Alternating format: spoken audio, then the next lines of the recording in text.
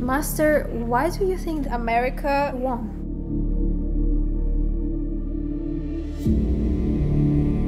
Warning sensitive content. After seeing the tragic news from Kabul, Afghanistan, in which many Afghans, Americans, and members of the Taliban lost their lives on August 26, 2021, Supreme Master Ching Hai shared her pain and tearful sorrow with us, plus this message for the inflictors. Whoever carries such attacks on innocent children and women, old and young men also, are cowards, barbarians, working for evil working for Satan. They are also the enemies of Islam because they make the world people think Islam is violent. Islam is murderous. They are not Muslim. They are the enemies of Muslims. Just going out anywhere and killing people at random when people are not prepared. Unarmed people like that. They're not Muslim. They don't make any statement. They don't make people understand anything. Just killing people doesn't make anybody understand you. You have to tell people what you want. What is it that is wrong with you or with anybody? I mean, in Kabul, people are already getting out of Afghanistan, of the country. They're not doing anything anymore there. Peace deal is signed. They just want to get out. And anybody who just organizes an attack like that is evil. I repeat again, they are the enemy of Islam because the blessed prophet, peace be upon him, the Quran doesn't tell people to kill anybody at random like that when they're not doing anything wrong to you.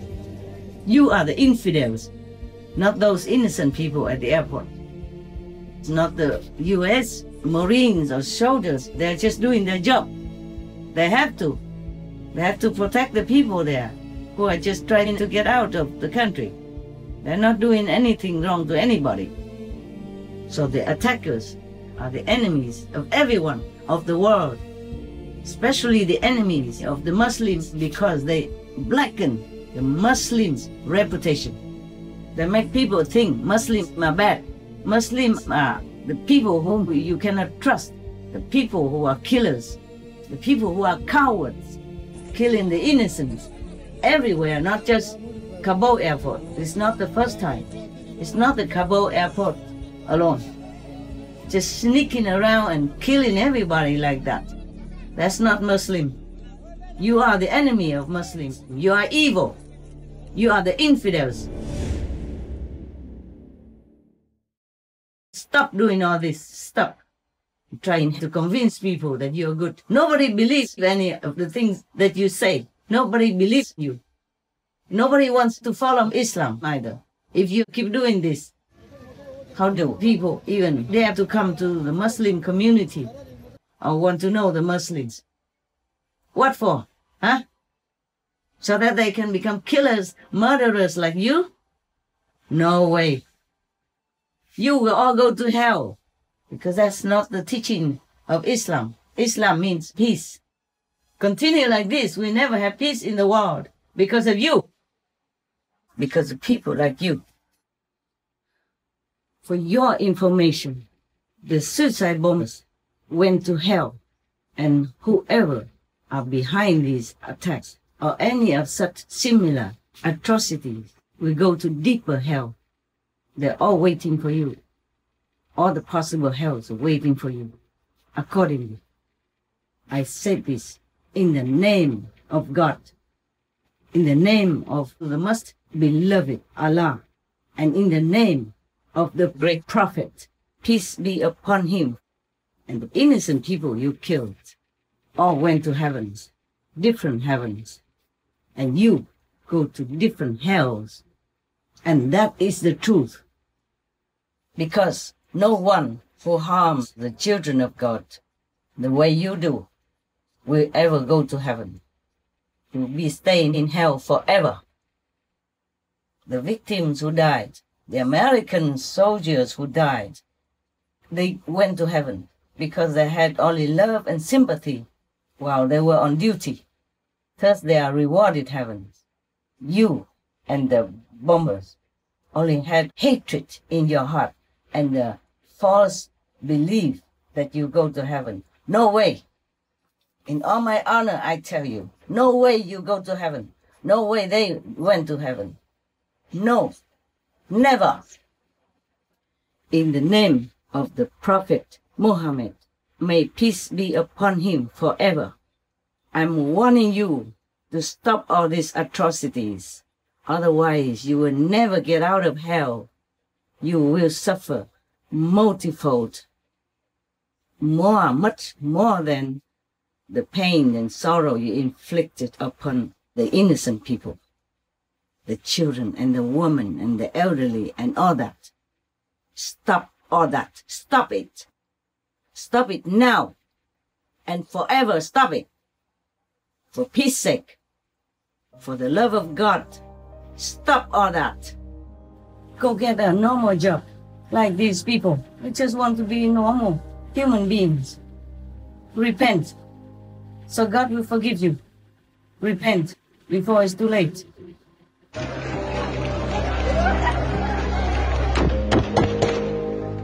There has been at least one explosion outside Kabul airport and reports of gunfire.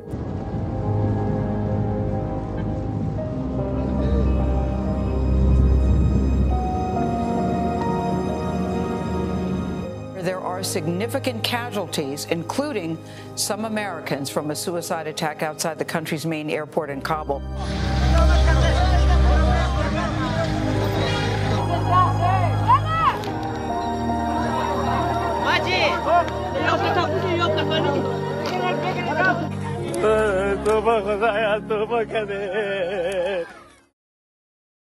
On the previous day, August 25th, Master also shared her thoughts on the news that the Taliban was not allowing any more Afghans to leave the country. I think the Taliban should let the Afghans and Americans out of Afghanistan. Hmm. Because if you want to rule, why should you keep your enemies around? Hmm. Just to have like a ticking bomb? That's not very wise to stop your so called enemies from running out of the country. Just let them go. Good for them. Good for you. Earlier, in another work related phone call with a Supreme Master Television team member, on August 24th, Master generously answered questions in regards to girls and women living under the Taliban regime, as well as the true outcome of the war in Afghanistan. Um, Master, uh, is forced child marriage uh, part of the Sharia law? Ah, no, no, no, no, no, no. Forced marriage is not in the Sharia. Oh, Okay? Sharia doesn't advise the Muslim to rape little girls in the so-called forced marriage or not marriage even. yes. It's like in Bangladesh, for example, they just rape anyone they like, big or small, child or old. That's not Muslim. They besmear the great reputation of Muslims, make people afraid of Islam, of Muslim followers. Yes, The Master. true Muslim people, they don't do that. Yeah. It's just a distortion of the law to suit their desire, you know, their need, their greed. See. Yes. Islam teaching has never been for forcing anything, mm.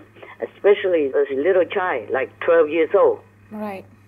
or any woman into any sexual or relationship or so-called marriage, whatever. Never. Yes. The Muslim teaching never included any of that, okay? Yeah. we have to go back in time at the time of the great prophet Muhammad, peace be upon him. Mm. It was wartime, okay? Right. It's not because the prophet or his followers uh, make war. It's the authority at that time. Oh. You see, they had their own established rules and religious order, you know, and of course they rejected anything that didn't look like them. I see. And but the prophet was teaching the truth, and the truth, according to also whatever Bible they have at that time, it's just that because he was enlightened and they were not. Even if the prophet's followers did not want to fight, Yes. they would be killed. You see what I'm saying? Oh, yeah. Yes. Mm. So of course many men sacrificed and stayed in the front line to protect their family, protect the prophet and other followers. Yeah. And many men died, of course. Of course. So men died, left behind uh, a widow and children. So the prophet had advised and requested his followers, whoever is still alive, whoever is able, like financially, Yes. yes, uh, then take in the widows and the children and look after them just like they are your wife and your family. Not any sexual things Yeah. just to take care like a family, like relatives. So later on, they uh, distorted it and, and interpreted it to, to, to suit their needs and their their uh, lowly desire. I see. just for lust and greed. So you know, it's not Sharia law, okay? Yes. The Sharia law. I'm just saying some examples. It's just to advise uh, men and women how to conduct their lives Yes. so that they can have more peace in the house. You know, Yes. like okay, you don't reveal yourself. You wear proper clothes to cover yourself when you talk to a stranger man if they come into your house. Yeah. Understand. So it's not to incite something of a misunderstanding, yeah, Understand. and it might result in something uh, bad for their marriage and the harmony of their relationship inside the house Right. something like that. And if they go out, they should also wear decently, not tight or revealing too much of your body. Yeah. But it's not like compulsory and cover all over the faces like that. Right. Yeah. Maybe at that time it's also good to cover the faces so that the enemies don't recognize them Mm, true. for their own safety. Yeah. So this is not uh, truly necessary anymore, and it's not a Sharia law. Yes. Understand. Um, Master, before you mentioned uh, arranged marriage in Au Lac, Uh huh. um, could you tell us more about it? How it is done? Mm, okay. In Vietnam and all that, the so-called arranged marriage uh, or consent marriage, you know, required the groom first to work with the in-law family for three years. Oh, Yeah, three years to stay with the wife's family understand. so that they can observe his character. You see, Oh, and whether or not he is worthy of their trust to have their daughter's hand in marriage. right. And the girl, meanwhile, also gets to know him, to see him. Yes. See, to get used to each other, whether or not they like. Yeah. Are they compatible in any way? And then, if they agree, okay, if the girl agrees to that, and the family is okay with the boy, Yes. they might agree. Then he has to bring big dowry, a lot of gifts, yeah, Okay. for the family, Yeah. uh, for the girl. And in these three years, he has to work very hard. Right. I mean, to show, you know. Mm, He work yes. hard and he has to be careful how to behave mm, and how to coordinate, cooperate with the family and pleasing them. Yeah, both the parents, the family members, and the girl. Oh, I see. So that's how the family in Au Lac in the old time protected their precious daughter. And that's how the man showed his respect and affection to her before he could even marry her at all. Ah, I see. During these uh, three years, the bride family could always cancel the proposal. Understand me? Oh, yeah. Okay. Or the groom may also not like the girl Yeah. or the family or whatever reason. He can also cancel Oh. and go home. Okay? Yes. That's how we we show respect for women. Right. That's how we protected the girl in the family in our life. Yeah. before. Mm. Now, can you imagine what it's like? Suppose the, the Taliban is successful in ruling the country under this rule of theirs. It's Yeah. not Sharia. In the world, half is a woman, half is man, no? Yeah. Right. Okay, so half of the country under Taliban rule would be like this. The woman is stupid, mm. illiterate, completely dependent, no ability, except relying heavily on her man. Yes. Uh, She cannot even read the road signs. She Yeah. cannot even sign her name or read her name. Yeah, Master. Subdued like a slave. Right. She relies completely on her man just for any cucumber that she wants to buy for the family. Yes. She cannot go out alone. Yeah. Yeah? And the man is, of course, busy earning money or doing work because she cannot. Yeah. She's not allowed to work. She, she cannot even read. All right. Yes. Completely half of the citizens are stupid, illiterate, and weak, dependent. So there is nothing that the woman can do to help her country. And the other half of the citizens, I mean men, are rapists, child molesters, Oh, hmm? right. robbers, robbing people, uh, property, or girls, or children, or women, Right and they become rapists and child molesters. So I wonder, what kind of society is that? What kind of country would the Taliban want to build? Yeah. Unimaginable. Yeah. به مکتب میرفتم صنف هفت بودم در روز بمونده بود که امتحانا سالان نخو بودم که برم صنف هشت من عروسی که بکردم دگه نگدشتم هرچی که من گفتم میرم به مکتب میرم. امی خسول ما خوشی ما همگی گفتن که اگه تو بری به مکتب ما کارا مارکی می‌کنم موتور بخریدیم و نه مقدارمو هم که گفتم میرم مکتب و شومه و خوشومه و همه مرمه زدم همین دبا مشت و لغت و هردم هردم مرمه زدم و دو می‌دادم فاش می‌گفتم.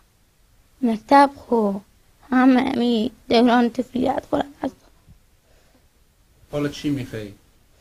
من مکتب خوش دیدم که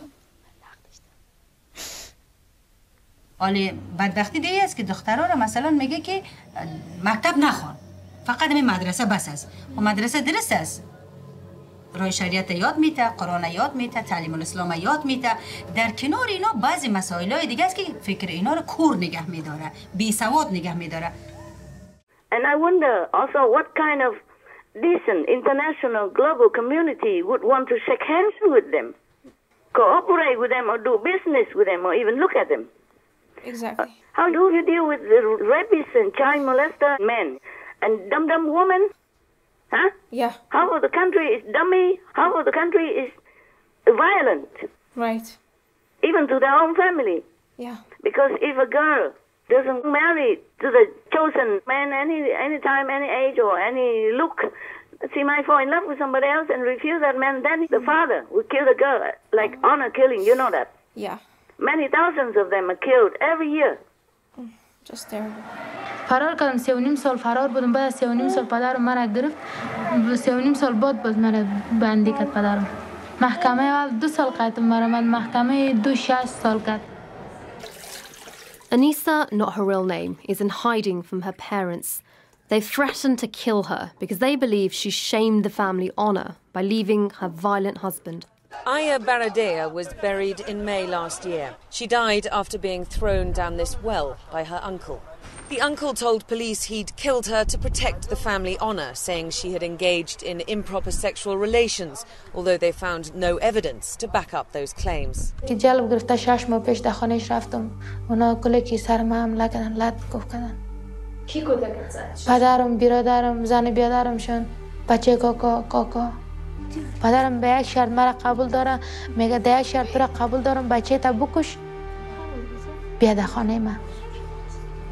In the spring of 2012, five women from a remote village in Kohistan were allegedly killed by their own family.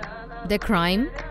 Appearing in a grainy cell phone video that showed them clapping and singing with two young brothers. So how would any international community or neighboring country even want to have anything to do with them unless they are all lunatics or possessed by Satan? Yeah. Yes, Master. This kind of rule will not work. It's not practical. It's too dictatorial. Because women, they have to go out. They must go out for their children, for their own needs, you know, to go shopping for the family, to buy things, to even clean the house, to buy things, to wash their clothes, everything. Yes. If they're completely always dependent on their men, then the men will get vexed Yeah. and then turn violent. After all, a man also a human. How how long can he bear all this uh, feeling of being naked, you know, into doing everything? Well, the woman can also do that. Right. Everything like going to the doctor, he has to take her and has to take her again and again and again because Mm. you go to the doctor, don't always just one time finish. Yeah. And then have to take the children to the school, and then you uh, take the children maybe to the doctor, and all kind of things. You understand? Yes. She cannot always rely on her men all the time, 24/7. Yeah. Right. That will breed resentment from the man's part, no matter how nice or gentle he is. Okay, because he's overtaxed. His mm. ability. Yes. He needs to earn a living. He needs to go out, and then he needs to see his friends and all that men stuff, and then he has to be next all the time True. you know, by a helpless woman because she's not allowed to do anything by herself, Right. to go out by herself. Even if she wants to rely on her men relatives, how many men relatives are ready for her all the time Yeah. or in emergency? Yes. because these are men relatives, they're also busy for their wives Yeah. and their kids and their family, their mother, their sister, whatever. Yeah. This is totally ah impossible. Yeah. True. That's why some of the Muslim Arab countries they now allow women to drive. Yeah. For God's sake, they need to do something. They have to take their children to the school. They have to go shopping, yeah, Yeah. to buy vegetables and food for the family. Cannot always make the man do everything. He has to take the kids to the school in the morning early and then work all day and then come home and then have to take the wife to go out shopping to buy buy food Hmm. and or doctors or whatever. Yeah. Now you know why the woman rise up, and many Afghans also rise up against them.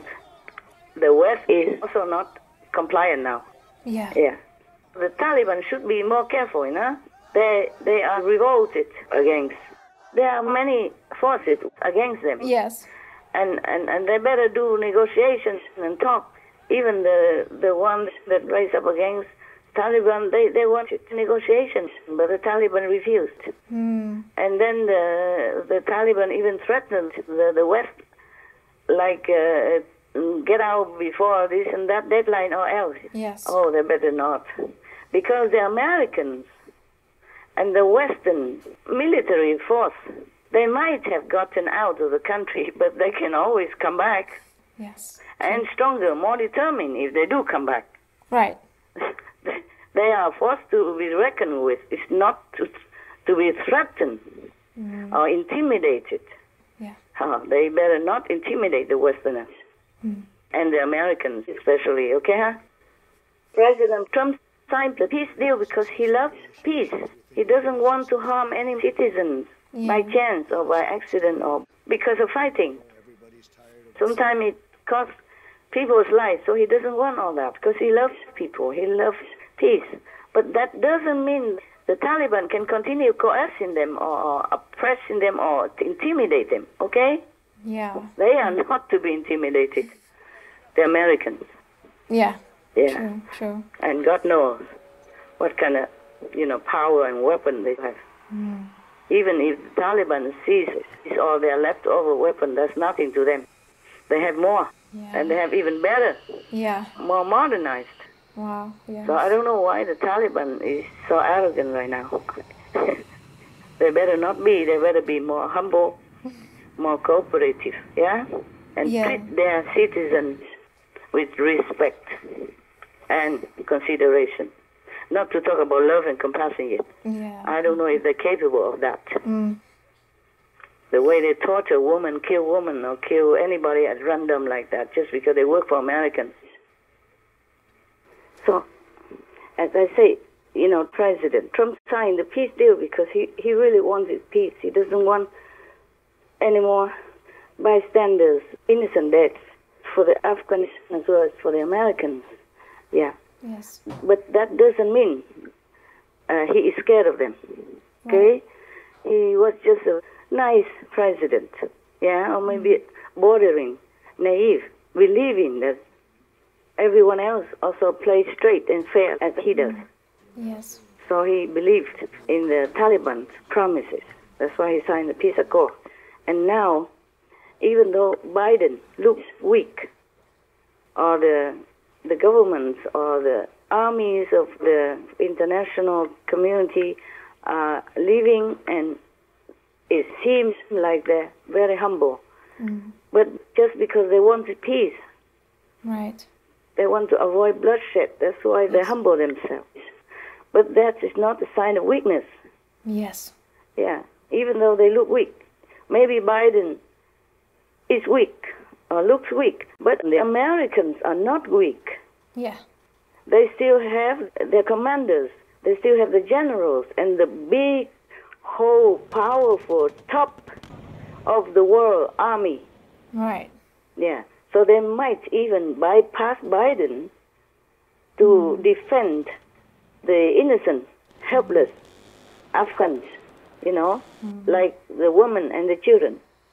So no one should mess with the Americans. No one should look down upon the Americans. No one should feel like they have victory over the Americans, even though it might seem so. Right. Though they might seem humble now, for peace's sake, but not forever. If pushed too long and too hard, they might just, you know, pay back. Right. Yeah. Mm. And this time they will not leave any stone unturned. Yes. So, anyone who feels like they uh, have victory over the Americans, they should think twice. yeah? yes. Yeah. Okay. That's what I want to say, because no one should mess with the Americans. Wow. Yes. Yes. Yes, Master. If they ever retreat or sign a peace accord, it's because they don't want any more, you know, bloodshed for both sides.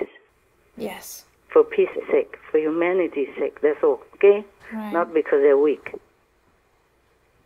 They have all the latest and most modern equipment for war. You see what I'm saying? Yes, Master. So why should they be afraid of anybody? Right. The people who should be afraid are the Taliban. Because the Americans, they're not afraid of anything. That's why they went from one country to another, wherever is in need of their powerful protection. Right. Yeah.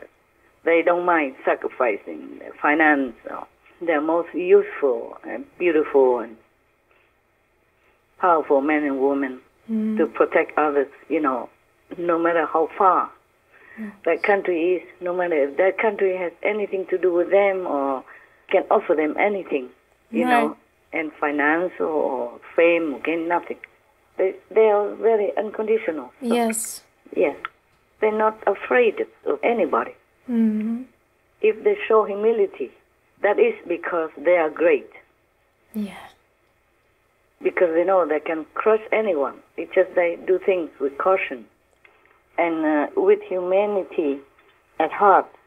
Yes. So they don't always consider themselves or don't use enough tricks or strategy to win. Mm. Because they consider lives of others. Yes, Yeah. That seems to be weakness to, to others, but it's not like that. They're just born and raised in a very strict kind of heroism. They Mhm. don't know tricks. They don't do things behind the enemy's back or stuff like that. Right. Yeah, and I just hope that the Taliban backs off, be more righteous with their citizens.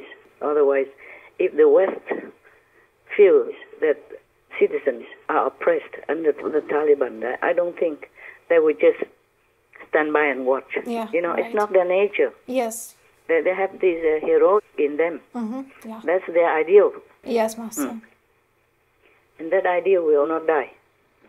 The Western people, they will jump in, I think, you know, sooner or later, Yes. just to protect peace. Yes. Even if they have to go to war to protect peace. hmm That's what they do, all the time. Yeah. It's true. Okay. I agree. Master, do you think that America lost the war in Afghanistan, as many people say? They were wrong. Hmm. The Americans won. Wow. Yes. You see, they won everywhere, even though they backed off. Yeah. Just for humanitarian reasons, or just for peace reasons. Yeah? Yeah. They won because they are great, they're big. Because they know they can win if they want to. Yes. They won because they have heart. They don't want to continue the bloody war anywhere. Yeah, Yes. they won. I tell you. Master, why do you think they won? Why? Yeah, I tell you why. Because they won. They won the hearts of the Afghans. Mm. You see that? Yes, Just true. a few hours after the Americans uh, pulling out, they all run to the airport to go with them, yes. with only the clothes on their backs. They don't have any baggage, nothing. All these men, Mm. they are men. They're not even women. They're to be afraid of, of the Taliban torturing or, or controlling. Right. They're mostly men. And even though the Taliban say they will uh, have amnesty and all that, they cannot trust. You see, Yes. they trust the Americans more. Yeah, it's true. Yeah. Yeah. Mostly they're men, uh, Yes. leaving their families behind, not even knowing when they will see them again. Yeah. They run to the Americans because they trust them more than they trust their own people, the Taliban. And and while other Afghans, knowing the danger and consequences, still went out on the street to protest. Right. That should be a shameful mark in history for the Taliban, no matter how they claim they are a winner. Yes, Master. Yeah. So now you understand why I say the Americans win? Yes, They won. They won everywhere. Everywhere the Americans left, people run after them. Hmm. Yeah, from. Vietnam also. Hundreds of thousands from Vietnam, even before. Yeah? Yeah. When the Americans went to Germany and won the war, people came out to greet them. I'm not afraid of them. Yeah, everywhere, similar. So, that should be a shame on the Taliban. Mm. They are called citizens, trusted strangers, more than their compatriots. The, the, the American troops who went to the airport just to, to bring some Americans out, but they ended up bringing also the Afghans. Yeah. 600 plus on just one airplane. Yes. They squeezed together and being so happy that they're lucky to get in it. They have nothing with them. Yes. Yeah, they don't even know what America looks like. They don't know where they're taking them. They don't know whether or not they will have food or clothes where they're going. Yes. They just went. Mm. I don't see if they have any money on them either. Yeah, they just run with just the sandals, you know, some barefoot Yes. because they, they run too fast. Their their sandals run away from them. They lost them all over the airport. I saw the picture that the sandals and shoes mm. are all over. So you see, you can never win if you lose people's hearts. True. Yes. So this is for the whole world to witness even. Right. This is the Taliban that certified the U.S. trustworthy presence on their own soil. Hmm. Yeah, on Afghanistan soil. Yes. Yes. The Americans who came to the Kabul airport just to keep order or to register and all that, they came with very simple weapons, you know, mm, just a few small guns. They expose themselves to danger also. Oh, right. Yeah, and they're risking their lives Wow. Because uh, the troops are left and all the equipment is stolen or yes. sold. Yeah. They're barely getting to know the situation, a risky and dangerous one. And they came and still stay and want to stay longer until all the vulnerable are rescued, you know, Americans or Afghans alike. They did not discriminate. They say, we will not leave you behind. Even a pregnant woman on the day of delivery ran to the airport Oh, wow. just to go, go with the Americans.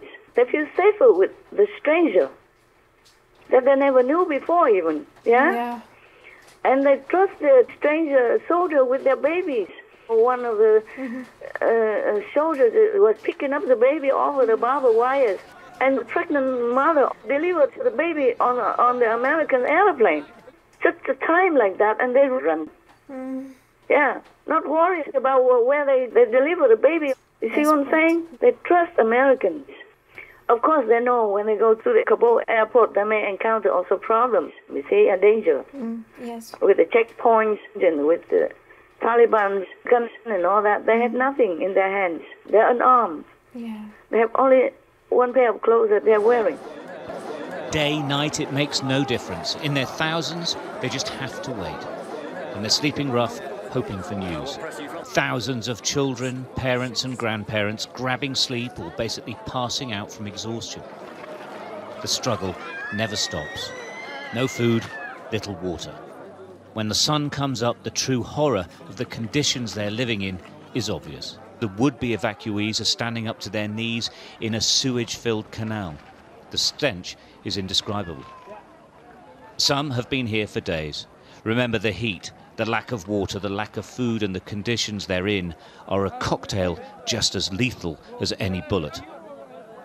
When they can identify people with the right papers to travel, they're pulled from the canal. There is no shade here, only what can be fashioned from scarves and plastic. The numbers of tiny children enduring all this is heartbreaking. It must be so, so scary. It's noisy here. There are gunshots and shouting the whole time. Their days are spent hoping someone will spot them and take them out of this hellhole and onto a plane. The wait is often days and days. You know, I, can I can cry forever thinking about about this situation. Some people cannot get on the airplane. They wait two, three, four days Hmm. in the sun, in such a sun. You know, Hmm. in such a country, it is very hot now. Summer also, there's Yeah. no shade, nothing. Yes. They sit under the sun on the ground to wait, to hope that they can get on the airplane and go to the Americans.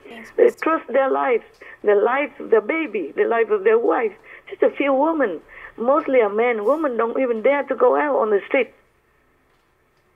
As soon as the Taliban came, the woman disappeared. You know, hiding into their houses. So frightened they are. They attack on the, my sister with a gun.